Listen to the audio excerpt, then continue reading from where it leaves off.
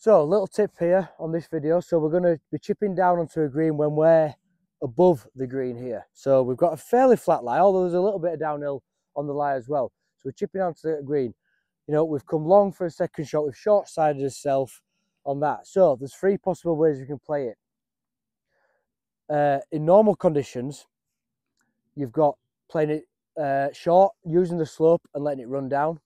We've got landing on the green, landing on the green, which in normal conditions we might need to add loft, and then also today's conditions where it's soaking wet um, for like winter golf.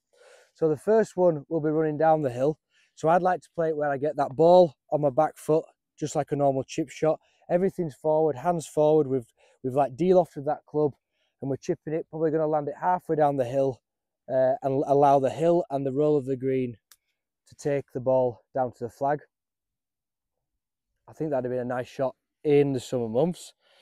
We've got the next one, which is probably what I would use normally because I don't like to use this as it's usually rough, so it can be a bit inconsistent with that. Play the ball forward, get my weight over the ball, almost play it like a little bunker shot. We've got that open face and we're just going to rock, but we're maintaining as weight over the leg in front of the ball still. We've got that loft there. It's going to help it bring up because of the, we're on the downhill lie. If we start to move back, that's how we're going to get into some serious trouble. So there, and then just rock the shoulders over and down to the hole. And then you've got today's condition as when it's soaking wet, you can probably put that ball position back and just do a normal chip shot. And I think you will be able to get that ball stopping because it's wet. Stopping like that. So that it's just a norm normal chip shot that you've probably seen me do before.